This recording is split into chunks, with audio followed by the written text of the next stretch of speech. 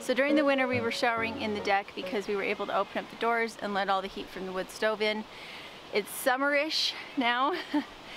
and uh, so I need to clear a path back to the outdoor shower. I need to clean up around the compost pile. We're gonna move what's in the compost pile to the hugelkultur so that it's not back here anymore. Um, it filled up just before we left and I just don't like it there being there next to the shower. It doesn't smell bad or anything, just doesn't look very nice. But I'm going to go ahead and clean up back here. The reason I'm not using my big scythe is that I have a lot of things back here that it could nick into and I can't get a full swing. If you can't get a full swing, it's very inefficient.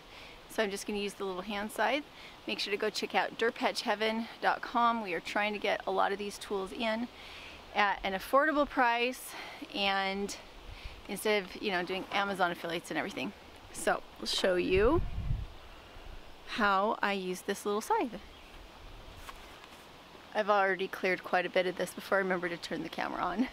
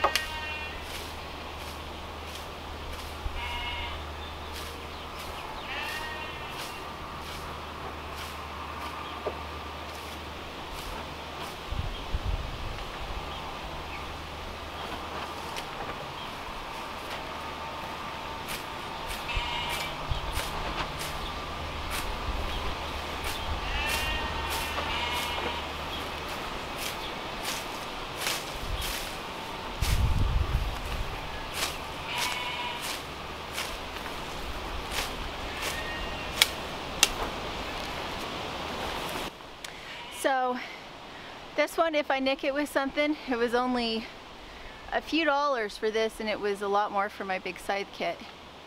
And so until this has a little bit more coverage over the rocks, this seems like the better deal.